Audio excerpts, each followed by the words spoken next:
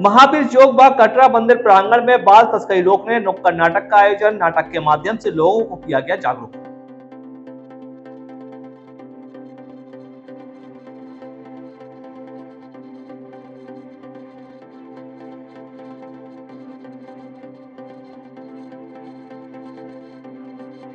दरअसल बाल अपराधों की रोकथाम हेतु, जहाँ एक कुछ शासन प्रशासन के द्वारा हर संभव प्रयास किए जा रहे हैं, जिससे बाल संबंधी अपराधों पर अंकुश लगाया जा सके।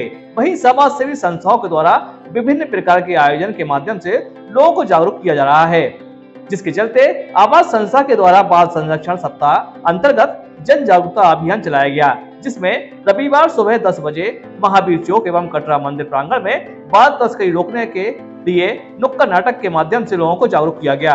युवाओं ने मनोरंजनात्मक नाटक के माध्यम से सुरक्षात्मक उपाय एवं सुरक्षा हेतु नंबरों की जानकारी दी। जिला समन्वयक मालती पटेल ने जानकारी देते हुए बताया कि बच्चों के प्रति बढ़ते अपराधों को रोकने हेतु जागरूकता कार्यक्रम आयोजित किए जा रहे हैं, जिसमें राष्ट्रीय सेवा योजना के स्वयं सेवक प्रियंका सेन, खुशबू, प्रतिभा, नेहा अभिषेक बंसल, आकाश चौबे, मनीष, प्रदीप, प्रशांत कुर्मी एवं सलता की सदस्य वर्षा मौजूद रही।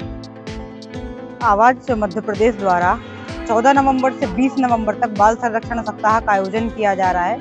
इसके अंतर्गत हम जगह जगह पर विभिन्न प्रकार की गतिविधियों का आयोजन कर रहे हैं, जिसमें से एक हमारा नुक्कड़ नाटक अभियान है।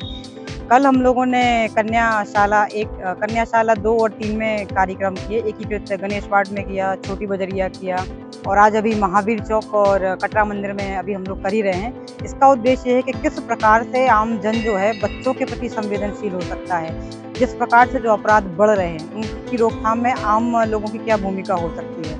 वो चाहे, आम पब्लिक हो माता पिता हों या फिर मजदूर वर्ग के साथ ही हों। इसका ये भी उद्देश्य है कि यदि इस तरह के बच्चों ने कहीं दिखाई देते हैं तो वो कम से कम प्रशासन को सूचना तो दें।